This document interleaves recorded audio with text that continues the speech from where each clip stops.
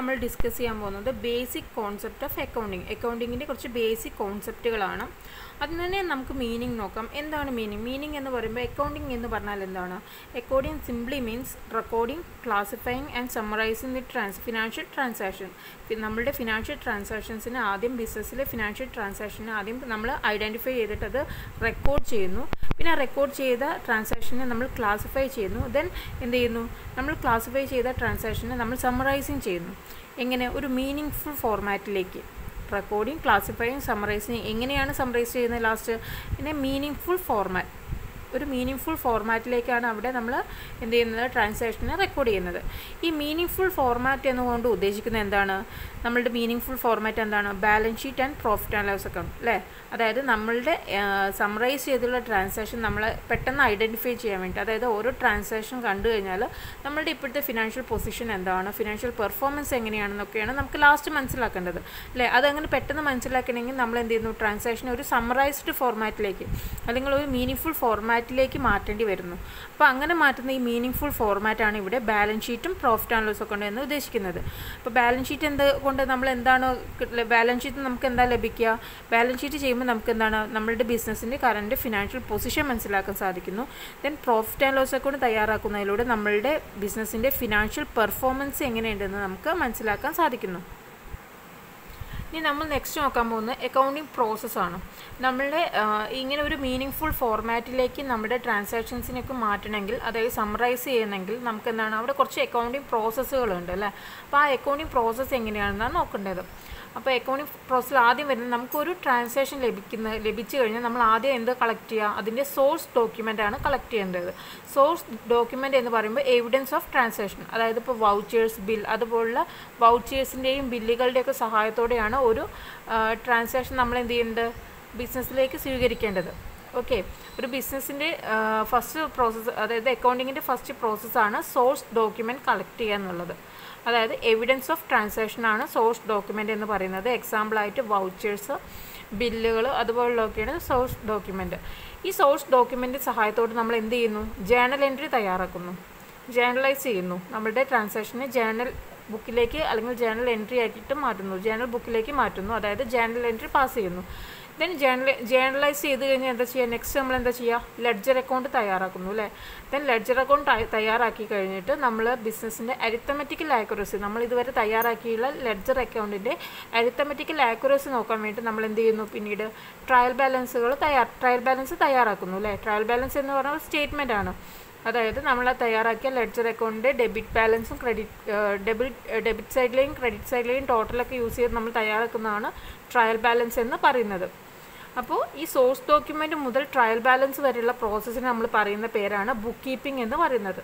മനസ്സിലായില്ലേ?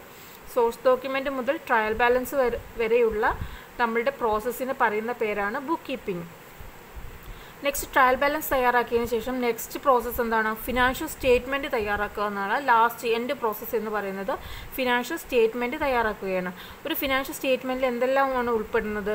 Profit and loss account balance sheet cash flow statement statement of changes in equity അപ്പോൾ ഇതൊക്കെയാണ് നമ്മൾ final സ്റ്റേറ്റ്മെന്റ്സിൽ തയ്യാറാക്കേണ്ടത്. ഏതൊക്കെയാണ്? Profit and loss account balance sheet cash flow statement statement of changes in equity okay അപ്പോൾ ഇത് process എന്ന് പറയുമ്പോൾ സോഴ്സ് ഡോക്യുമെന്റ് ആദ്യം നമ്മൾ സോഴ്സ് ഡോക്യുമെന്റ് കളക്ട് ചെയ്യുന്നു. ജെൻ അതിനെ സോഴ്സ് ഡോക്യുമെന്റിന്റെ സഹായത്തോടെ ജേണൽ എൻട്രി പാസ് ചെയ്യുന്നു. ദെൻ ലെഡ്ജർ അക്കൗണ്ട് ക്രിയേറ്റ് ചെയ്യുന്നു.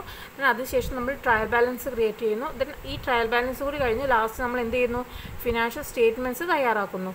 അപ്പോൾ സോഴ്സ് ഡോക്യുമെന്റ് മുതൽ ട്രയൽ ബാലൻസ് വരെയുള്ള ഈ പ്രോസസ്സുകൾ പറയുന്ന പേരാണ് ബുക്ക് കീപ്പിംഗ് എന്ന് പറയുന്നത്.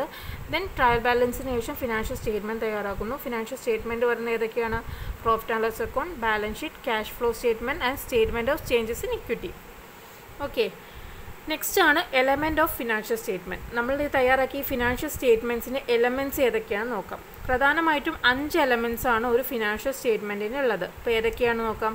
ഒന്ന് asset liability equity expense and revenue asset liability equity expense and revenue okay ഇതൊക്കെയാണ് five elements of financial statement എന്ന് പറയുന്നത്. അപ്പോൾ ഈ ഫൈവ് എലമെൻസ് ആണ് നമ്മളുടെ ടോ എൻഡിലുള്ള ലാസ്റ്റ് വന്ന ഈ ഫിനാൻഷ്യൽ സ്റ്റേറ്റ്മെന്റിൽ ഉൾപ്പെടുന്നത് ഈ ഒരു അഞ്ച് എലമെൻസ് ചേർന്നാണ് നമ്മളുടെ ഫിനാൻഷ്യൽ സ്റ്റേറ്റ്മെന്റ് എന്ന് പറയുന്നത്. ഓക്കെ ഫൈനൽ ഫിനാൻഷ്യൽ സ്റ്റേറ്റ്മെന്റ് എന്ന് പറയുന്നത് ഈ അഞ്ച് എലമെന്റ്സ് ആണ്. അതിൽ അസറ്റ് ഏത് ഫിനാൻഷ്യൽ സ്റ്റേറ്റ്മെന്റിലാണ് വരിക? ബാലൻസ് ഷീറ്റിൽ ലയബിലിറ്റി എവിടെയാണ് വരിക? ബാലൻസ് ഷീറ്റിൽ ഇക്വിറ്റി ഓർ ക്യാപിറ്റൽ ഇക്വിറ്റി അല്ലെങ്കിൽ ക്യാപിറ്റൽ എവിടെയാണ് വരിക? ബാലൻസ് ഷീറ്റിലല്ലേ വരിക. ഈ ഇക്വിറ്റി ഓർ ക്യാപിറ്റൽ പറയാനൊരു റീസൺ ഉണ്ട്. നമ്മൾ ആ അവിടെ എത്തുമ്പോൾ ഇക്വിറ്റിയെക്കുറിച്ച് പറയുന്ന സമയത്ത് ഞാനത് എക്സ്പ്ലെയിൻ ചെയ്തു തരാം. ദെൻ റവന്യൂസ് എവിടെയാണ് വരിക? പ്രോഫിറ്റ് ആൻഡ് ലോസ് അക്കൗണ്ടിലാണ് വരിക. എക്സ്പെൻസ് എവിടെയാണ് വരിക? പ്രോഫിറ്റ് ആൻഡ് ലോസ് അക്കൗണ്ടിൽ ഓക്കെ അപ്പോൾ ഇതൊക്കെയാണ് എലമെന്റ്സ് ഓഫ് ഫിനാൻഷ്യൽ സ്റ്റേറ്റ്മെന്റ് എന്ന് പറയുന്നത്. നമുക്ക് നെക്സ്റ്റ് നമുക്ക് ഈ എലമെന്റ്സിനെ കുറച്ച് ഡീറ്റെയിൽ ആയി നോക്കാം. ഓക്കെ ഫസ്റ്റ് വൺ ആണ് അസറ്റ് അതായത് അസറ്റിന്റെ ഡെഫിനേഷൻ ഒന്ന് റിവൈസ് ചെയ്തിട്ടുണ്ട്. അപ്പോൾ ന്യൂ ഡെഫിനേഷൻ ഓഫ് അസറ്റ് എന്ന് പറയുന്നത് an asset is a resource controlled by an entity as a result of past events and from which future economic benefit are expected to flow to the entity. ഒന്നുകൂടി പറയാം an asset is a resource controlled by an entity as a result of past events and from which future economic benefit are expected to flow to the entity അപ്പോൾ ഇതാണ് അസറ്റിന്റെ പുതിയ definition എന്ന് പറയുന്നത്. ഇതെന്ത് സിമ്പിളായിട്ട് പറഞ്ഞിട്ടുണ്ടെങ്കിൽ കമ്പനിക്ക് കൺട്രോ കമ്പനിയുടെ കൺട്രോളിലുള്ളതും അതുപോലെ അതിനൊരു ഫ്യൂച്ചർ ബെനിഫിറ്റ് കിട്ടുന്നതുമായ റിസോഴ്സുകളെയാണ് നമ്മൾ അസറ്റ് കൊണ്ട് ഉദ്ദേശിക്കുന്നത്. ഓക്കെ ഞാൻ ഡെഫിനിഷനിലേക്ക് പോവാം നമുക്ക്. അപ്പോൾ an asset is a resource controlled by ഇവിടെ കൺട്രോൾഡ് ബൈ അസറ്റ് പറഞ്ഞ ഒരു റിസോഴ്സാണ് എങ്ങനെയുള്ളത്? കൺട്രോൾഡ് ബൈ ആൻ എന്റിറ്റി ഇവിടെ കൺട്രോൾഡ് എന്ന് കൊണ്ട് ഉദ്ദേശിക്കുന്നത് എന്താണെന്ന് വെച്ചിട്ടുണ്ടെങ്കിൽ ഒന്നെങ്കിൽ ഓണർഷിപ്പ് ആവാം അല്ലെങ്കിൽ റെന്റൽ ബേസ് അല്ലെങ്കിൽ ലീസ് ബേസ് അതായത് ചില സമയത്ത് ഇപ്പോൾ ഒരു മെഷീനറി ഇപ്പോൾ നമ്മൾ എന്താണ് ഒരു മെഷീനറി പർച്ചേസ് ചെയ്യാമെന്ന് വിചാരിക്കുക കമ്പനിക്ക് ചില സമയത്ത് നല്ല ഫിനാൻഷ്യൽ ബാക്ക്ഗ്രൗണ്ട് ഉണ്ടെങ്കിൽ ആ മെഷീനറി സ്വന്തമായിട്ട് വാങ്ങാൻ പറ്റും. സ്വന്തമായിട്ട് മെഷീനറി ഓണർഷിപ്പ് കരസ്ഥമാക്കാൻ പറ്റും. ചില കേസിൽ ഭയങ്കര ഹ്യൂജ് ഇൻവെസ്റ്റ്മെന്റ് ഒക്കെ വേണ്ട ചില മെഷീനറീസ് ആണെങ്കിൽ ചില ബിസിനസ് സ്ഥാപനങ്ങൾ എന്ത് ചെയ്യുന്നു? അത്തരം മെഷീനറീസിനെ റെന്റൽ ബേസിൽ അല്ലെങ്കിൽ ലീസിലൊക്കെ എടുക്കാറുണ്ട്. അല്ലേ അപ്പോൾ അതാണ് ഇവിടെ കൺട്രോൾ എന്നതുകൊണ്ട് ഉദ്ദേശിക്കുന്നത്. അപ്പോൾ റിസോഴ്സ് കൺട്രോൾഡ് ബൈ എന്ന് പറയുമ്പോൾ ഒന്നെങ്കിൽ ഓണർഷിപ്പിലാവും അല്ലെങ്കിൽ ലീസ് ബേസിലാവും ആയിരിക്കാം അതാണ് ഉദ്ദേശിക്കുന്നത്. Controlled by an entity as a result of past event as a result of past event past event ഇവിടെ പാസ്റ്റ് ഇവൻ എന്ന് പറയുന്നത് എന്താണ്? പർച്ചേസ്ഡ് ഓർ ലീസ് ബേസിൽ നമ്മൾ പർച്ചേസ് ചെയ്യുന്നതോ അല്ലെങ്കിൽ ലീസ് ബേസിലാണ് നമ്മളിവിടെ പാസ്റ്റ് ഇവന്റ് കൊണ്ട് ഉദ്ദേശിക്കുന്നത്. And from which future economic benefit are expected to flow to the entity അതായത് അതിൽ നിന്ന് എന്താണ് നമ്മൾ എക്സ്പെക്റ്റ് ചെയ്യുന്നത്? ഒരു ഫ്യൂച്ചർ എക്കണോമിക് ബെനിഫിറ്റ് എക്സ്പെക്റ്റ് ചെയ്യുന്നത് ആ ഫ്യൂച്ചർ എക്കണോമിക് ബെനിഫിറ്റ് എന്ന് പറയുന്നത് എന്താണ്? ഹെൽപ്പ് ടു ജനറേറ്റ് ഇൻകം ബിസിനസ്സിലേക്ക് ഇൻകം ജനറേറ്റ് ചെയ്യാൻ സഹായിക്കുക. ഒരു മിഷനറി വാങ്ങുമ്പോൾ എന്താണ്? ഒരു മിഷനറി വാങ്ങിക്കഴിഞ്ഞിട്ടുണ്ടെങ്കിൽ നമ്മളുടെ പ്രൊഡക്ഷൻ പ്രോസസ്സൊക്കെ സ്മൂത്തായിട്ട് നടക്കുന്നു. ദെൻ പ്രൊഡക്ഷൻ കഴിഞ്ഞു കഴിഞ്ഞാൽ അത് സെയിൽസ് പ്രൊഡക്റ്റുകൾ എന്ത് ചെയ്യുന്നു? മാർക്കറ്റിൽ സെയിൽസ് നടത്തുന്നു. ദെൻ അതിൽ നിന്ന് നമുക്ക് എന്ത് കിട്ടുന്നു? ഒരു ഇൻകം ലഭിക്കുന്നുണ്ട്. അപ്പോൾ ഈ ആ ലഭിക്കുന്ന ഇൻകമാണ് ഫ്യൂച്ചർ എക്കണോമിക് ബെനിഫിറ്റ് എന്ന് പറയുന്നത്.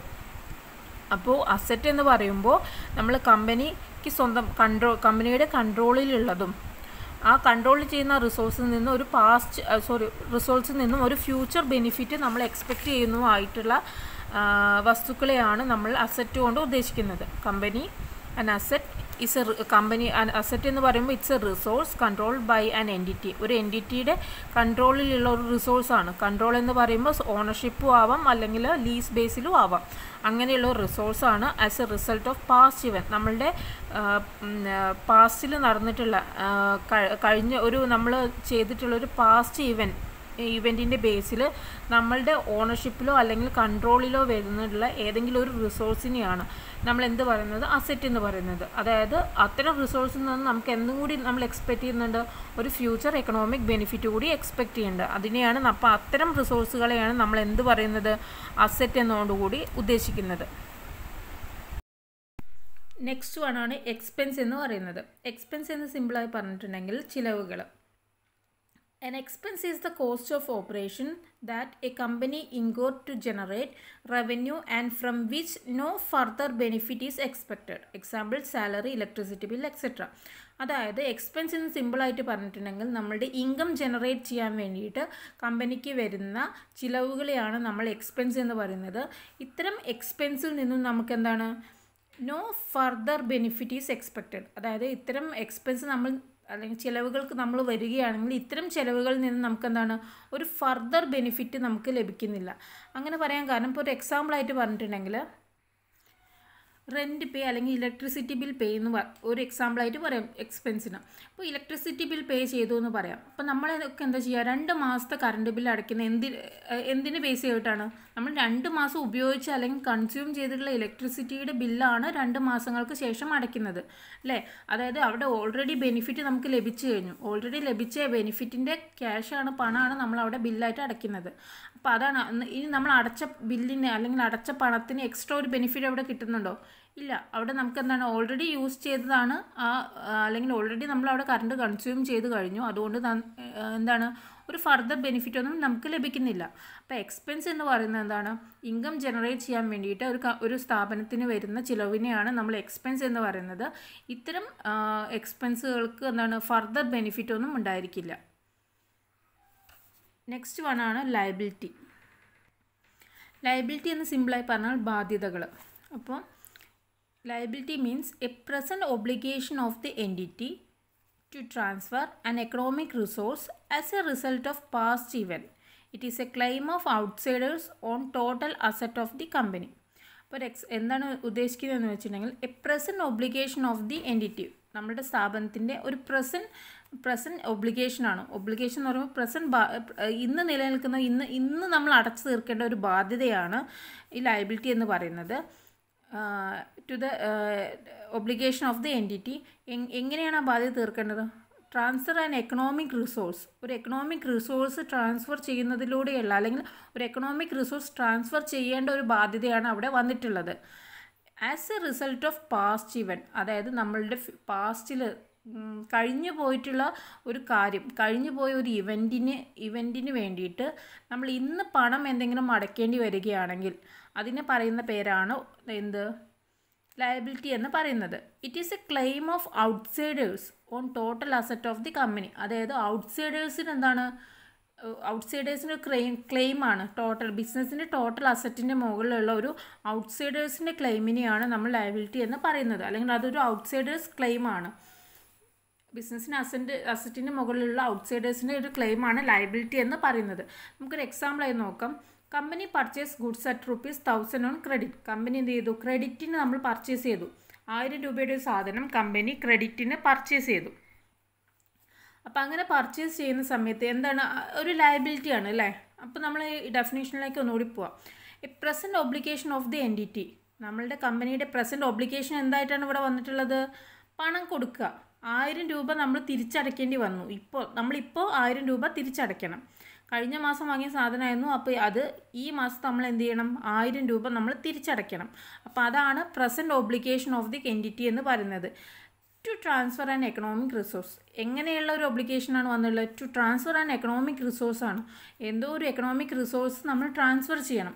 ഇവിടെ എക്കണോമിക് റിസോഴ്സ് ആയിട്ട് എന്താ വന്നിട്ടുള്ളത്? ആയിരം രൂപ പണമാണ് അല്ലേ? റിസോഴ്സ് ആയിട്ട് വന്നുള്ളത് അതായത് ആയിരം രൂപ പണം നമ്മളിപ്പോൾ അടയ്ക്കണം. അതാണ് present obligation of the entity to transfer and economic resource എങ്ങനെയാണ് ഈ ഇതിങ്ങനെ ഒരു ഒബ്ലിഗേഷൻ വന്നത്? As a result of past event പാസ്റ്റിൽ നടന്നൊരു ഇവൻ ഇവിടെ എന്താ പാസ്റ്റ് ഇവൻ എന്ന് പറയുമ്പോൾ എന്താണ് ഇവിടെ?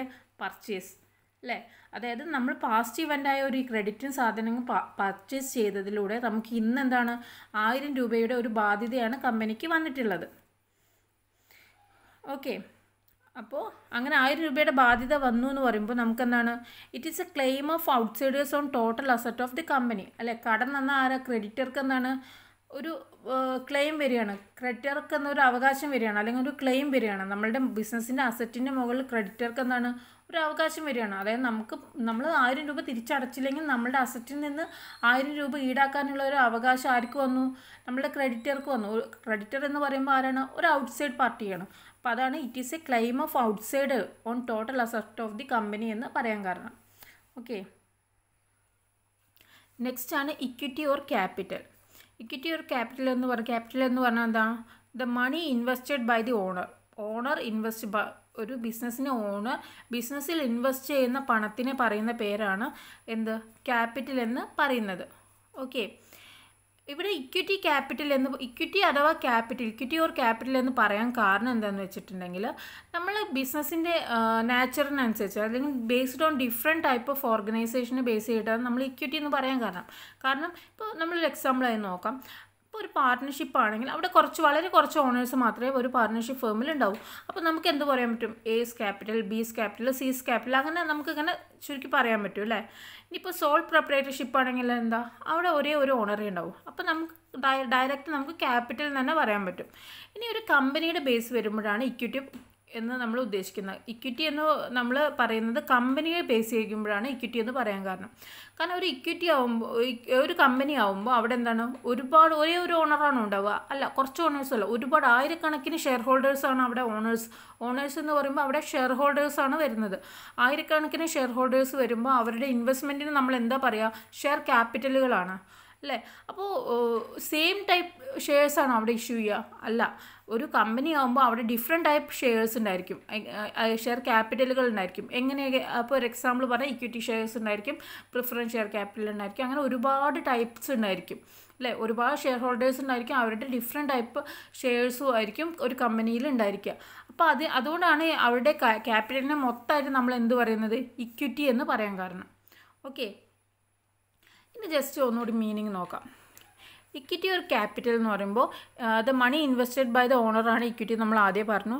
And it is the residual interest in the total asset of the entity after deducting all its liabilities it is the residual interest in the total asset of the entity residual interest പറഞ്ഞാൽ എന്താണ്?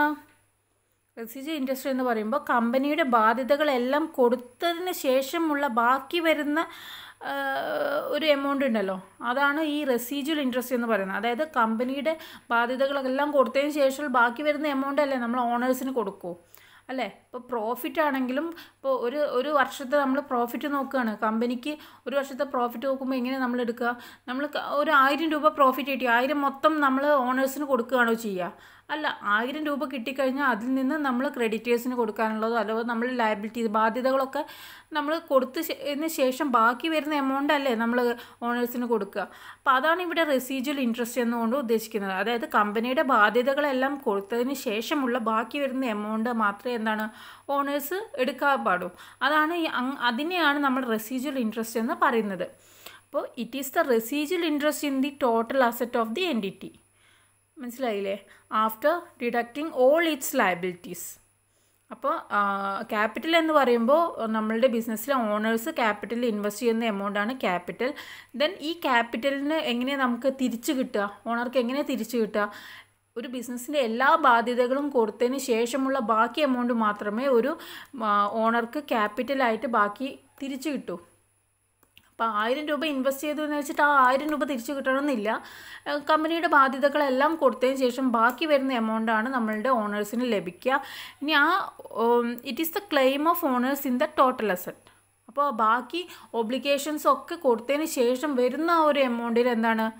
നമ്മളുടെ ഓണേഴ്സിനൊരു claim ഉണ്ട്. ആ ക്ലെയിമിനെ നമ്മൾ എന്ത് പറയുന്നു? Equity അഥവാ capital എന്നും സൂചിപ്പിക്കുന്നു. ഓക്കെ ഇപ്പോൾ ബിസിനസ്സിൽ ഓണേഴ്സ് ഇൻവെസ്റ്റ് ചെയ്യുന്ന പണമാണ് ഇക്വിറ്റി അഥവാ ക്യാപിറ്റൽ എന്ന് പറയുന്നത്. ഇനി ഈ ക്യാപിറ്റൽ എങ്ങനെയാണ് തിരിച്ചു കിട്ടുക? ആ ക്യാപിറ്റൽ തിരിച്ചു കിട്ടണമെങ്കിൽ അവരെന്താണ്? ബിസിനസ്സിന്റെ ബാധ്യതകളെല്ലാം കൊടുത്ത ശേഷമുള്ള ബാക്കി വരുന്ന എമൗണ്ടിന്റെ മുകളിലാണ് ഇത്തരം ഓണേഴ്സിനൊരു ക്ലെയിം ഉണ്ടായിരിക്കുക. അപ്പോൾ അങ്ങനത്തെ ക്ലെയിമിനെ നമ്മൾ ക്യാപിറ്റൽ ക്യാപിറ്റലായിട്ട് തന്നെയാണ് കണക്കാക്കുക. ഓക്കെ ലാസ്റ്റ് വൺ ആണ് റവന്യൂ എന്ന് പറയുന്നത്. റവന്യൂ പറയുമ്പോൾ എന്താണ്? It is a gross inflow of cash receivables or other consideration raising in the course of the ordinary activities of business such as sale of goods rendering of service etcetera അതായത് revenue എന്ന് സിമ്പിളായിട്ട് പറഞ്ഞിട്ടുണ്ടെങ്കിൽ income അല്ലേ income generate ചെയ്യുക. നമ്മൾ ordinary ആക്ടിവിറ്റിയിലൂടെ ബിസിനസ്സിന് ലഭിക്കുന്ന ഇൻകത്തിനെയാണ് നമ്മൾ റവന്യൂ എന്ന് പറയുന്നത്. ഫോർ എക്സാമ്പിൾ ആയിട്ട് നമ്മൾ എന്താണ് മെയിൻ ഇൻകം റവന്യൂ ഏതാണ് ബിസിനസ്സിന്റെ? സെയിൽ ഓഫ് ഗുഡ്സ് ആണല്ലേ സെയിൽസിലൂടെയാണ് മെയിനായിട്ട് ബിസിനസ്സിന് ഇൻകം കിട്ടുക. അപ്പോൾ ക്യാഷ് അല്ലെങ്കിൽ ക്യാഷ് റിസീവബിൾസ് ക്യാഷ് റിസീവബിൾസ് എന്ന് പറയുമ്പോൾ ഇവിടെ എന്താണ് ഉദ്ദേശിക്കുന്നത്? ഡെപ്റ്റേഴ്സിനെയാണ്. അല്ലെങ്കിൽ മണി ഫ്രം സെയിൽസ് ഇതൊക്കെയാണ് റവന്യൂ ആയിട്ട് കണക്കാക്കുന്നത്. സിംപ്ലി ആയിട്ട് പറഞ്ഞിട്ടുണ്ടെങ്കിൽ ക്യാഷ് ഓർ റിസീവബിൾസ്. ക്യാഷ് ആവാം ബിസിനസ്സിലുള്ള അതായത് കടം കൊടുത്ത ആളുകൾ പണം തിരിച്ചു തരുമ്പോൾ അങ്ങനെ ലഭിക്കുന്ന ക്യാഷ് ആവാം അല്ലെങ്കിൽ money from sales or services അതിൽ നിന്നൊക്കെ ലഭിക്കുന്ന പണമാവാം അതിനൊക്കെയാണ് റവന്യൂ എന്ന് പറയുന്നത്. അതായത് ബിസിനസ്സിന് ഓർഡിനറി ആക്ടിവിറ്റീസിലൂടെ ബിസിനസ്സിന് ലഭിക്കുന്ന പണത്തിനെയാണ് നമ്മൾ അല്ലെങ്കിൽ ഇൻകത്തിനെയാണ് നമ്മൾ റവന്യൂ എന്ന് പറയുന്നത്. ഇനി നമുക്ക് എന്ത് ചെയ്യാൻ പറ്റും? നമുക്ക് ഈ ഫൈവ് എലവൻസിനെയും നമുക്ക് ഓരോ എക്സാമ്പിൾസിലൂടെ പരിചയപ്പെടാം. ഓക്കെ ഇപ്പോൾ ഒരു എക്സാമ്പിൾ കൊടുത്തിട്ടുണ്ട് started a business with capital of rupees two lakh രണ്ട് ലക്ഷം രൂപ ഇൻവെസ്റ്റ് ചെയ്തിട്ട് ബിസിനസ് ഒരു ക്യാപിറ്റൽ ക്യാപിറ്റലായി ഇൻവെസ്റ്റ് ചെയ്ത് ഒരു ആൾ ബിസിനസ് സ്റ്റാർട്ട് ചെയ്തു. അപ്പോൾ ഇവിടെ ബാലൻസ് ഷീറ്റിൽ നോക്കാം. ഇപ്പോൾ അസറ്റ് സൈഡിൽ എന്താ വരിക? ഇവിടെ രണ്ട് ലക്ഷം ഇൻവെസ്റ്റ് ചെയ്യുമ്പോൾ ബിസിനസ്സിനെ സംബന്ധിച്ച് എന്താണ്? ക്യാഷ് ഇൻ ഹാൻഡ് ആയിട്ട് അല്ലേ? ക്യാഷ് ഇൻ ഹാൻഡ് ആയിട്ട് രണ്ട് ലക്ഷം രൂപ കിട്ടുക ചെയ്യുന്നത്. അപ്പോൾ രണ്ട് ലക്ഷം ഇവിടെ ക്യാഷ് ആയിട്ട് ലഭിച്ചു. അപ്പോൾ ഈ ക്യാഷ് എന്ന് പറയുന്നത് എന്താണ്? ഒരു അസറ്റാണ് അല്ലേ? അസറ്റാണ് അപ്പോൾ നമ്മൾ അസറ്റിന്റെ ഡെഫിനേഷൻ നോക്കിക്കഴിഞ്ഞാൽ നമുക്ക് കാണാൻ പറ്റും. ഡെഫിനേഷനിൽ എന്താ പറഞ്ഞിട്ടുള്ളത്? ബിസിനസ്സിന് ലഭിക്കുന്ന റിസോഴ്സ് എങ്ങനെയായിരിക്കാം? ബിസിനസ്സിന് കൺട്രോ പൂർണമായും കൺട്രോൾ ചെയ്യാൻ കഴിയുന്നതും അതുപോലെ ഫ്യൂച്ചറിൽ നിന്ന് ഒരു ബെനിഫിറ്റ് എക്സ്പെക്റ്റ് ചെയ്യുന്നതുമായിട്ടുള്ള റിസോഴ്സുകളെ മൊത്തം നമ്മൾ എന്താണ്? ബിസിനസ്സിന് അസറ്റായിട്ടാണ് കണക്കാക്കുന്നത്. അപ്പോൾ ഈ ക്യാഷ് സംബന്ധിച്ച് എന്താണ്? ബിസിനസ്സിന്റെ പൂർണമായ കൺട്രോളിലേക്ക് വരികയല്ലേ ക്യാഷ് ബിസിനസ്സിന് എന്തും ചെയ്യാൻ പറ്റും. അവരുടെ കയ്യിൽ കിട്ടിയ രണ്ട് ലക്ഷം വെച്ചിട്ട് ബിസിനസ്സിന് ഏത് രീതിയിലും ബിസിനസ്സിന് അത് യൂട്ടിലൈസ് ചെയ്യാം അല്ലേ? ക്യാഷ് ആയിട്ട്. അപ്പോൾ അവിടെ കംപ്ലീറ്റ് കൺട്രോൾ വന്നു. പിന്നെ ഡെഫിനേഷനിൽ എന്താ പറഞ്ഞിട്ടുള്ളത്? ഫ്യൂച്ചർ ബെനിഫിറ്റ് അപ്പോൾ വെറുതെ ആണോ ബിസിനസ്സിൽ ഈ രണ്ട് ലക്ഷം വെറുതെ ചിലവാക്കോ? ഇല്ല. ഈ രണ്ട് ലക്ഷം ചിലവാക്കുന്ന ഒരു ചിലവാക്കുന്ന എന്തിനാണ്? പ്രോഫിറ്റ് ലഭിക്കാൻ വേണ്ടിയിട്ടല്ലേ. അപ്പോൾ ആ പ്രോഫിറ്റ് എന്ന് പറയുന്ന ഒരു ഫ്യൂച്ചർ ബെനിഫിറ്റ് അവിടെ എക്സ്പെക്റ്റ് ചെയ്യുന്നു. ഓക്കെ അപ്പോൾ അങ്ങനെ വരുമ്പോഴാണ് ക്യാഷ് എന്താണ്? ഒരു അസറ്റായിട്ട് മാറുന്നത്. അല്ലേ? അപ്പോൾ അസറ്റിന്റെ ഡെഫിനേഷൻ ഇവിടെ കറക്റ്റായിട്ട് വന്നല്ലോ. ഇനി ക്യാപിറ്റൽ നോക്കാം. ക്യാപിറ്റൽ എന്താണ്? രണ്ട് ലക്ഷം ഇവിടെ എന്താണ്? ബിസിനസ്സിലേക്ക് ഓണർ ഇൻവെസ്റ്റ് ചെയ്യുകയാണ്. അപ്പോൾ ഇൻവെസ്റ്റ് ചെയ്യുമ്പോൾ എന്താണ്? ഒപ്പം നമ്മളുടെ ക്യാപിറ്റലിലേക്ക് ഓണർ ഇൻവെസ്റ്റ് ചെയ്യുന്നതോടൊപ്പം തന്നെ ഈ ഓണർക്ക് എന്താണ്? ബിസിനസ്സിന്റെ മൊത്തം അസറ്റിന്റെ മുകളിൽ ഒരു ക്ലെയിം കൂടി വരികയാണ്. ഓക്കെ? അല്ലെങ്കിൽ ബിസിനസ്സിന്റെ മൊത്തം അസറ്റിന് മുകളിൽ എന്താണ്? ഒരു കൺട്രോൾ കൂടി വരികയാണ്. കാരണം ബിസിനസ്സിന് ഓണറല്ലേ ഓണറാണ് ആ ഓണർ രണ്ട് ലക്ഷം രൂപ ഇൻവെസ്റ്റ് ചെയ്തു. അപ്പോൾ അദ്ദേഹത്തിന് എന്താണ്? ഈ ബിസിനസ്സിനും ഓണറിന് ഒരു സെപ്പറേറ്റ് ലീഗൽ എന്റിറ്റി ഉണ്ട് നമ്മൾ പഠിച്ചിട്ടുണ്ട്. അപ്പം അങ്ങനെ വരികയാണെങ്കിൽ ഈ ബിസിനസ്സിൽ രണ്ട് ലക്ഷം രൂപ ഓണർ ഇൻവെസ്റ്റ് ചെയ്യുമ്പോൾ ആ കമ്പനി എന്താണ്? ആ രണ്ട് ലക്ഷത്തിന് ബിസിനസ്സിന് റെസ്പോൺസിബിൾ അല്ലേ? അതായത് കമ്പനി എന്താണ്? നമ്മളുടെ ഓണറോട് കമ്പനിക്ക് ഒരു റെസ്പോൺസിബിലിറ്റി ഉണ്ടല്ലോ. രണ്ട് ലക്ഷം തിരിച്ച് തിരികെ നൽകണമെന്ന് റെസ്പോൺസിബിലിറ്റി വരികയാണ്. അപ്പം അങ്ങനെ വരുമ്പോൾ നമ്മളുടെ ടോട്ടൽ അസറ്റിന്റെ മുകളിൽ എന്താണ്? നമ്മളുടെ ഓണർക്ക് ഒരു ക്ലെയിം കൂടി അവിടെ വരികയാണ്. നെക്സ്റ്റ് എക്സാമ്പിൾ നോക്കാം. Purchase machinery at rupees forty thousand ഇപ്പോൾ നമ്മളുടെ കമ്പനി എന്ത് ചെയ്യുന്നു ഈ ക്യാഷ് ഉപയോഗിച്ച് നാല് നാൽപ്പതിനായിരം രൂപ വില വരുന്ന ഒരു മെഷീനറി പർച്ചേസ് ചെയ്തു. അപ്പോൾ ഇവിടെ അസറ്റാണ് അല്ലേ? മെഷീനറി എന്ന് പറയുമ്പോൾ അസറ്റാണ് അപ്പോൾ അസറ്റ് എന്താണ്? ഇവിടെ ഒരു ഓണർഷിപ്പ് വന്നു അല്ലേ? ബിസിനസ്സിന്റെ പൂർണമായ കൺട്രോളിൽ കൺട്രോളിലാണ് ആ ഒരു അസറ്റ് വന്നിട്ടുള്ളത്. മാത്രമല്ല ഈ മെഷീനറി യൂസ് ചെയ്തിട്ട് എന്ത് ചെയ്യുന്നു? നമ്മൾ പ്രൊഡക്ഷനൊക്കെ നടത്തി സെയിൽസൊക്കെ നടത്തുമ്പോൾ നമുക്ക് അവിടെ എന്താണ്? Expect future benefit on it അല്ലേ? അപ്പോൾ അത് അങ്ങനെ അങ്ങനെയാണ് നമ്മളുടെ മെഷീനറി എന്ന് പറയുന്നത് ഒരു അസറ്റായിട്ട് മാറിയിട്ടുള്ളത്. Okay അസറ്റിന്റെ definition വ്യക്തമാവുണ്ടല്ലോ. അതായത് അവിടെ നമ്മൾ എന്താണ് നമുക്കൊരു ഓണർഷിപ്പ് ലഭിക്കുന്നുണ്ട് പൂർണമായ കൺട്രോൾ ലഭിക്കുന്നുണ്ട്. മാത്രമല്ല expect future benefit on it okay. Next example നോക്കാം. ഇപ്പോൾ ബിസിനസ് ഒരു ബാങ്ക് ലോണിന് അപ്ലൈ ചെയ്തു. നാൽപ്പതിനായിരം രൂപ വിലന്ന ഒരു ബാങ്ക് ലോണിന് അപ്ലൈ ചെയ്തു. അങ്ങനെ ബാങ്ക് ലോൺ സാങ്ഷൻ ചെയ്തു. അപ്പോൾ അങ്ങനെ വരുമ്പോൾ ലോൺ സാങ്ഷൻ ആയി കഴിഞ്ഞാൽ രണ്ട് ഇവന്റ് അവിടെ സംഭവിക്കുന്നുണ്ട്. അപ്പോൾ ഒരു രീതിയിൽ നോക്കുകയാണെങ്കിൽ ബിസിനസ്സിലേക്ക് നാൽപ്പതിനായിരം രൂപ വരികയാണ്. അതായത് ബിസിനസ്സിന് നാൽപ്പതിനായിരം രൂപ ക്യാഷ് ഇൻ ഹാൻഡ് ആയിട്ട് വരുന്നുണ്ട്. ഒരു അസറ്റായിട്ട് വരുന്നുണ്ട്. പിന്നെ സെയിം ടൈം അവിടെ ബിസിനസ്സിന് ഒരു ഒബ്ലിഗേഷൻ ക്രിയേറ്റ് ചെയ്യുന്നുണ്ട്. ഒരു ബാധ്യത വന്നിട്ടുണ്ട്. എത്ര? നാൽപ്പതിനായിരം രൂപ ഈ ബാങ്ക് ബാങ്കിലേക്ക് നമ്മൾ തിരിച്ചു കൊടുക്കാനല്ലേ? ഈ നാൽപ്പതിനായിരം രൂപ എന്ന് പറയുന്നത് എന്താണ്? ബാങ്ക് ലോണാണ് അപ്പോൾ ഈ നാൽപ്പതിനായിരം രൂപ നമുക്ക് തിരിച്ചു കൊടുക്കണം. അപ്പോൾ എന്താണ് അവിടെ ഒരു ലയബിലിറ്റി അല്ലെങ്കിൽ ഒരു ഒബ്ലിഗേഷൻ ക്രിയേറ്റ് ചെയ്യുന്നുണ്ട് അല്ലേ? അപ്പോൾ ഇവിടെ പ്രസന്റ് ഇപ്പോൾ ലയബിലിറ്റീന്റെ കേസിൽ നമുക്ക് നോക്കാം. ലയബിലിറ്റി ഇവിടെ മനസ്സിലാക്കാം. നമുക്ക് അസറ്റിന്റെ കേസ് നമുക്ക് അറിയാലോ നാൽപ്പതിനായിരം രൂപ കയ്യിൽ വന്നു. അതുകൊണ്ട് തന്നെ നമുക്ക് അതിന്റെ പൂർണമായ കൺട്രോൾ ലഭിക്കുകയും ചെയ്തു. ഫ്യൂച്ചർ ബെനിഫിറ്റ് എക്സ്പെക്റ്റ് ചെയ്യുന്നുണ്ട്. ഇനി ഇവിടെ എന്താ സെയിം ടൈം ഇവിടെ ഒരു ലയബിലിറ്റി അല്ലെങ്കിൽ ഒരു ഒബ്ലിക്കേഷൻ വന്നില്ലേ? അപ്പോൾ ലയബിലിറ്റീന്റെ കേസിൽ നമുക്ക് എന്താ പറയുന്നത്? ഒരു പാസ്റ്റ് ഇവന്റിന്റെ ബേസിൽ നമ്മൾക്ക് ഇന്ന് ഫ്യൂച്ചറിൽ നമുക്ക് പണം എന്തെങ്കിലും ട്രാൻസ്ഫർ ചെയ്യേണ്ടി വരികയാണെങ്കിൽ അതിനെയാണ് ലയബിലിറ്റി എന്ന് പറയുന്നത്. അല്ലേ? അപ്പോൾ ഇവിടെ പാസ്റ്റ് ഇവന്റ് എന്ന് പറയുന്നത് എന്താ? ലോൺ സാങ്ഷൻ ആയതാണ് ഇവിടെ പാസ്റ്റ് ഇവന്റ് എന്ന് പറയുന്നത്. അല്ലേ? ലോൺ നമ്മൾ ബിസിനസ്സിന് ഒരു ലോൺ എടുത്തു. അപ്പോൾ അതാണ് പാസ്റ്റ് ഇവന്റ് അപ്പോൾ നമ്മൾ ഇപ്പം ലോ അന്ന് നമ്മൾ ലോൺ എടുത്തത് കൊണ്ട് നമുക്ക് എന്താണ്? ആ ലോൺ തിരിച്ചടയ്ക്കണ്ടേ? അപ്പോൾ അവിടെ നമുക്ക് തിരിച്ചടയ്ക്കണം എന്നുള്ള ഒരു ഒബ്ലിഗേഷൻ അല്ലെങ്കിൽ ഒരു ബാധ്യത നമുക്ക് അവിടെ വന്നു. ഓക്കെ ഇപ്പോൾ ഇവിടെ ലയബിലിറ്റി ഇവിടെ ക്ലിയർ ആയില്ലേ? അപ്പോൾ അതായത് നാൽപ്പതിനായിരം രൂപ നമ്മൾ പാസ്റ്റിൽ നമ്മൾ നാൽപ്പതിന ഒരു ബാങ്ക് ലോൺ എടുത്തു. ആ പാസ്റ്റ് ഇവന്റിന്റെ ബേസിൽ നമുക്ക് ഇന്ന് ഫ്യൂച്ചർ ഇന്ന് പ്രസന്റ് ആയിട്ട് നമുക്ക് എന്ത് ചെയ്യുന്നു? ഒരു ഒബ്ലിഗേഷൻ ക്രിയേറ്റ് ചെയ്യപ്പെട്ട് ആണ് ചെയ്തിട്ടുള്ളത്. ഒരു ലൈബിലിറ്റി വരികയാണ് ചെയ്തിട്ടുള്ളത്. അതായത് നമുക്ക് ബാങ്ക് ലോൺ അടയ്ക്കണം എന്നുള്ള ഒരു ലൈബിലിറ്റി അവിടെ ക്രിയേറ്റ് ചെയ്ത് ചെയ്യപ്പെട്ടു. ഓക്കെ ഇനി നമുക്ക് ബാലൻസ് ഷീറ്റിലേക്ക് അത് ട്രാൻസ്ഫർ ചെയ്യുമ്പോൾ എങ്ങനെ വരിക? അപ്പോൾ ക്യാഷ് ക്യാഷായിട്ട് നമ്മൾ എന്താണ് ആദ്യം നമ്മൾ രണ്ട് ലക്ഷം രൂപ എന്ത് ചെയ്തു? ബിസിനസ്സിൽ ഇൻവെസ്റ്റ് ചെയ്തു. ക്യാപിറ്റലായി കിട്ടിയെന്ന് പറഞ്ഞു. അപ്പോൾ ക്യാഷിനായിട്ട് അന്ന് രണ്ട് ലക്ഷം ഉണ്ടായിരുന്നു. മൈനസ് നമ്മളൊരു മിഷനറി വാങ്ങി. മിഷനറി വാങ്ങുമ്പോൾ നമ്മളുടെ കയ്യിലെ ക്യാഷ് നാൽപ്പതിനായിരം രൂപ കുറഞ്ഞു അല്ലേ? അങ്ങനെ ഒരു ലക്ഷത്തി അറുപതിനായിരമായി പ്ലസ് വീണ്ടും നമ്മൾ ബാങ്ക് ലോൺ എടുത്തപ്പോൾ നമുക്ക് നമ്മൾ നമ്മളുടെ കയ്യിൽ എന്ത് കിട്ടി? ഒരു നാൽപ്പതിനായിരം രൂപ കൂടി എക്സ്ട്രാ നമ്മളെ കയ്യിൽ കിട്ടിയല്ലോ. അപ്പോൾ മൊത്തം എത്രയായി ഇവിടെ? ക്യാഷ് എത്രയായി? രണ്ട് ലക്ഷം രൂപ തന്നെയായി. പിന്നെ നമ്മൾ മെഷീനറി പർച്ചേസ് ചെയ്യുമ്പോൾ അസറ്റായിട്ട് മെഷീനറി അസറ്റാണല്ലോ അപ്പോൾ ഒരു ഫോർട്ടി തൗസൻഡ് എക്സ്ട്രാ വന്നു. അപ്പോൾ അസറ്റ് സൈഡിൽ എത്ര ലക്ഷം വന്നു? രണ്ട് ലക്ഷത്തി നാൽപ്പതിനായിരം എന്ന് വന്നു. ഇനി ലയബിലിറ്റി നോക്കാം. ലയബിലിറ്റി സൈഡിൽ ആദ്യം ക്യാപിറ്റൽ ക്യാപിറ്റൽ കൊണ്ടുവന്നപ്പോൾ രണ്ട് ലക്ഷമായിരുന്നു. ദെൻ നമ്മൾ ഒരു ബാങ്ക് ലോൺ അപ്ലൈ ചെയ്തപ്പോൾ നാൽപ്പതിനായിരം രൂപ എന്താണ്? അവിടെ ലയബിലിറ്റി ആയി വന്നിട്ട് ടോട്ടൽ രണ്ട് ലക്ഷത്തി നാൽപ്പതിനായിരം ഇനി നോക്കാം. ക്ലെയിം നോക്കാം. ക്ലെയിം എന്ന് പറയുന്നത് ഇവിടെ ബാങ്ക് ലോണിലാണ് പ്രയോറിറ്റി കൂടുതൽ. അതായത് ബാങ്ക് ബാങ്ക് ലോൺ അപ്ലൈ ചെയ്യുമ്പോൾ ബാങ്കിന് എന്താണ്? ബാങ്ക് ഒരു ഔട്ട്സൈഡ് പാർട്ടിയാണ് അപ്പോൾ ഈ ബാങ്കിനാണ് നമ്മളുടെ ഈ ടോട്ടൽ അസറ്റിലുള്ള ഏറ്റവും കൂടുതൽ പ്രയോറിറ്റി ക്ലെയിം നൽകുന്നത്. ബാങ്ക് ബാങ്കിനാണ് ഏറ്റവും കൂടുതൽ ക്ലെയിം ഉന്നയിക്കാൻ പറ്റുക നമ്മളുടെ ടോട്ടൽ അസറ്റിൽ അല്ലെങ്കിൽ ബാങ്കിനാണ് പ്രയോറിറ്റി കൂടുക. ബാങ്കിന് നാൽപ്പതിനായിരം രൂപ അവർ കൊടുത്ത ലോൺ തിരിച്ചു കിട്ടിയില്ലെങ്കിൽ ബാങ്കിന് എന്ത് ചെയ്യാൻ പറ്റും? ഈ ബിസിനസ്സിന്റെ രണ്ട് ലക്ഷത്തി നാൽപ്പതിനായിരം രൂപ കൈ കയ്യിലുള്ള രണ്ട് ലക്ഷത്തി നാൽപ്പതിനായിരം രൂപയിൽ നിന്ന് അത് ഈടാക്കാനുള്ള അവകാശം ആർക്കുണ്ട്? നമ്മൾ ബാങ്കിനുണ്ട്. അപ്പോൾ ഫസ്റ്റ് പ്രയോറിറ്റി ആർക്കാണ്? ബാങ്കിനാണ് കൊടുക്കുക. പിന്നെ ക്യാപിറ്റൽ അതായത് ഓണർക്ക് പിന്നെ സെക്കൻഡ് പ്രയോറിറ്റി മാത്രമേ ഉള്ളൂ. സെക് ബാങ്കിന് ഈ രണ്ട് ലക്ഷത്തി നാൽപ്പതിനായിരത്തിന് മുകളിൽ പൂർണമായിട്ടും എന്ത് ചെയ്യാൻ പറ്റില്ല? ക്ലെയിം ചെയ്യാൻ പറ്റില്ല. ആദ്യം എന്ത് ചെയ്യണം? ഈ കൊടു ബാങ്ക് ലോൺ ആയിട്ടുള്ള നാൽപ്പതിനായിരം കൊടുത്തു തീർക്കണ്ടേ. ബാക്കി ഈ രണ്ട് ലക്ഷത്തിന് മുകളിൽ മാത്രമാണ് നമ്മളുടെ ഓണർക്ക് എന്ത് ചെയ്യാൻ പറ്റുള്ളൂ? ക്ലെയിം ചെയ്യാൻ പറ്റൂ. ഓക്കെ. രണ്ട് ലക്ഷത്തി ഈ രണ്ട് ലക്ഷത്തിന് മുകളിൽ മാത്രമാണ് നമ്മളുടെ ഓണർക്ക് ക്ലെയിം ഉള്ളൂ. അതുകൊണ്ട് അദ്ദേഹത്തിന് എന്താണ് സെക്കൻഡ് പ്രയോറിറ്റിയാണ് അവിടെ ലഭിക്കുക. ഓക്കെ. അപ്പോൾ നമ്മൾ ക്യാപിറ്റലിൽ ഇത് ഓൾറെഡി പറഞ്ഞിട്ടുണ്ട് അല്ലേ? ഇവിടെ റെസീജ്വൽ ഇൻട്രസ്റ്റ് എന്ന് പറഞ്ഞാൽ എന്താണ്? ഇവിടെ it is a it is the residual interest in the to in the total asset of the entity എന്ന് പറഞ്ഞിട്ടുണ്ട്. ക്യാപിറ്റൽ എന്ന് പറയുന്നത് എന്താണ്? റെസീജ്വൽ ഇൻട്രസ്റ്റ് ആണ്. ഇവിടെ റെസീജ്വൽ ഇൻട്രസ്റ്റ് എന്ന് പറയുമ്പോൾ എങ്ങനെ വരിക?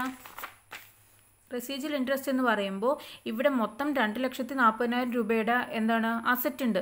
ഈ രണ്ട് ലക്ഷത്തി നാൽപ്പതിനായിരം രൂപയുടെ അസറ്റിൽ നിന്ന് എന്ത് മൈനസ് ചെയ്ത എമൗണ്ടാണ് ബാങ്ക് ലോൺ ആയ നാൽപ്പതിനായിരം രൂപ മൈനസ് ചെയ്ത് ബാക്കി വരുന്ന ഈ രണ്ട് ലക്ഷമാണ് രണ്ട് ലക്ഷത്തിന്റെ മുകളിലാണ് നമ്മളുടെ ഓണർക്ക് ക്ലെയിം ചെയ്യാൻ പറ്റൂ. അതാണ് ഇവിടെ റെസീജ്വൽ ഇൻട്രസ്റ്റ് എന്ന് പറയുന്നത്. ഓക്കെ അതായത്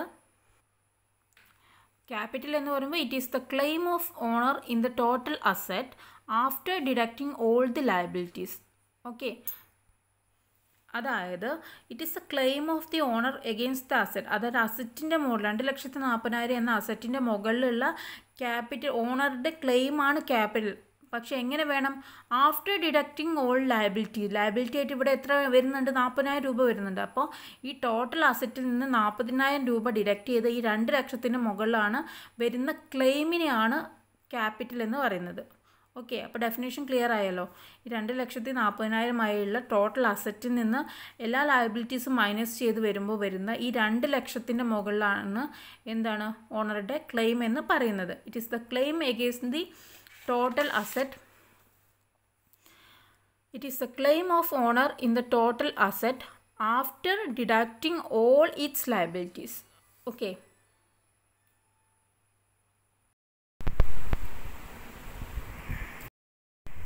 Next നമ്മൾ നോക്കാം ഡബിൾ എൻട്രി എന്താണെന്ന് നോക്കാം. ഡബിൾ എൻട്രി എന്ന് പറയുമ്പോൾ ഏതൊരു ട്രാൻസാക്ഷനും ഒരു ബിസിനസ് ട്രാൻസാക്ഷനിൽ ഏത് ട്രാൻസാക്ഷൻ ആയിരിക്കും ആണെങ്കിലും അതിനെന്താണ്? രണ്ട് ആസ്പെക്റ്റ് ഉണ്ട്. Every transaction will have two aspect ഏതൊക്കെയാണ്? ഡെബിറ്റ് ഉണ്ടായിരിക്കും ഡെബിറ്റ് ആസ്പെക്റ്റ് ഉണ്ടായിരിക്കും ക്രെഡിറ്റ് ആസ്പെക്റ്റ് ഉണ്ടായിരിക്കും. Accounting attempt to record both effect of a transaction or event on the entity's financial statement അപ്പോൾ നമ്മളുടെ ബിസ് നമ്മൾ അക്കൗണ്ടിങ്ങിൽ അക്കൗണ്ടിങ് എന്ത് ചെയ്യും? ഈ ഓരോ ട്രാൻസാക്ഷന്റെയും ഡെബിറ്റ് ആസ്പെക്റ്റിനെയും ക്രെഡിറ്റ് ആസ്പെക്റ്റിനെയും ഒരുപോലെ ഫിനാൻഷ്യൽ സ്റ്റേറ്റ്മെന്റ്സിൽ രേഖപ്പെടുത്തും. അപ്പോൾ ഈ ഇതിനെയാണ് എന്ത് പറയുന്നത് നമ്മൾ ഡ്യുവൽ എൻട്രി കോൺസെപ്റ്റ് എന്ന് പറയും കൺസെപ്റ്റ് എന്ന് പറയുന്നത്. അപ്പോൾ എപ്പോഴും നോക്കുക ഈ ഡെബിറ്റ് ആസ്പെക്റ്റും ക്രെഡിറ്റ് ആസ്പെക്റ്റും ഒരു ട്രാൻസാക്ഷന്റെ ഡെബിറ്റ് ആസ്പെക്റ്റും ക്രെഡിറ്റ് ആസ്പെക്റ്റും അല്ലെങ്കിൽ ഡെഫിറ്റ് ഡെബിറ്റ് എഫക്റ്റും ക്രെഡിറ്റ് എഫക്റ്റും എപ്പോഴും എന്താണ്? ഈക്വൽ ആയിരിക്കും. ടു എഫക്റ്റ് ആർ ഈക്വൽ അപ്പോൾ ഈ debit is equal to credit ഇതിനെയാണ് duality principle or dual aspect principle എന്ന് പറയുന്നത്. ഒരു എക്സാമ്പിളായിട്ട് നോക്കാം. ഇപ്പോൾ എക്സാമ്പിളായിട്ട് നമ്മൾ നേരത്തെ പറഞ്ഞ പോലെ നാൽപ്പതിനായിരം രൂപയുടെ ഒരു ബാങ്ക് ലോൺ എടുത്തു. അപ്പോൾ അവിടെ എന്താണ്? രണ്ട് ആസ്പെക്റ്റാണ് വന്നിട്ടുള്ളത് അല്ലേ? നാൽപ്പതിനായിരം രൂപ എന്ത് വന്നു? നമ്മളുടെ ബിസിനസ്സിലേക്ക് ക്യാഷ് ആയിട്ട് വന്നു. അപ്പോൾ പിന്നെ മറ്റ് കൂടാതെ നാൽപ്പതിനായിരം രൂപ ബിസിനസ്സിന് എന്താണ്? ഒരു ലയബിലിറ്റി വന്നു. അപ്പോൾ അവിടെ എന്താണ്? രണ്ട് ഇഫക്റ്റ് അവിടെ സംഭവിച്ചിട്ടുണ്ട്. അതായത് ട്രാൻസാക്ഷൻ വരുമ്പോൾ cash account at to bank അല്ലെങ്കിൽ ബാങ്ക് ലോൺ അക്കൗണ്ട് എന്ന് പറയാം. അപ്പോൾ എന്താണ്? അവിടെ ഒരു ഡെബിറ്റും വന്നിട്ടുണ്ട് ഒരു ക്രെഡിറ്റും വന്നിട്ടുണ്ട്. അല്ലേ ഇവിടെ അസറ്റ് ഡെബിറ്റ് ചെയ്തു ലയബിലിറ്റി എന്ത് ചെയ്തു? നമ്മൾ ക്രെഡിറ്റ് ചെയ്തു. അപ്പോൾ ഒരു ബാങ്ക് ലോൺ എടുത്ത ഈ ട്രാൻസാക്ഷൻ എന്താണ്? രണ്ട് എഫക്റ്റ് അവിടെ വന്നിട്ടുണ്ട്. അപ്പോൾ ഇതാണ് ഡ്യുവൽ ഡ്യുവൽ എൻട്രി കോൺസെപ്റ്റ് എന്ന് പറയുന്നത്. ഇനി മറ്റൊരു എക്സാമ്പിൾ നോക്കാം. Purchase machinery at rupees forty thousand നാൽപ്പതിനായിരം രൂപയ്ക്ക് ഒരു മെഷീനറി പർച്ചേസ് ചെയ്യുമ്പോൾ അവിടെ എന്താ വരിക? മെഷീനറി ബിസിനസ്സിലേക്ക് കൂടി. ഒരു മെഷീനറി എന്ന അസറ്റ് ബിസിനസ്സിലേക്ക് വന്നു. അപ്പോൾ കൂടാതെ നമ്മളുടെ കയ്യിലുള്ള ക്യാഷ് കുറഞ്ഞു. അപ്പോൾ എൻട്രി വരുമ്പോൾ machinery account dated to cash അതായത് ഇവിടെ ഒരു ഡെബിറ്റും വന്നു ഒരു ക്രെഡിറ്റും വന്നു. ഈ രണ്ട് ഡെബിറ്റും ക്രെഡിറ്റും എഫക്റ്റുകളും നമ്മൾ എന്ത് ചെയ്യുന്നു? ഫിനാൻഷ്യൽ സ്റ്റേറ്റ്മെന്റ്സിൽ നമ്മൾ എന്ത് ചെയ്യുന്നുണ്ട്? കാണിക്കുന്നുണ്ട്. ഓക്കെ മനസ്സിലായില്ലേ? അപ്പോൾ ഇതിനെയാണ് നമ്മൾ എന്ത് പറയുന്നത്? Dual concept dual entry concept എന്ന് പറയുന്നത്.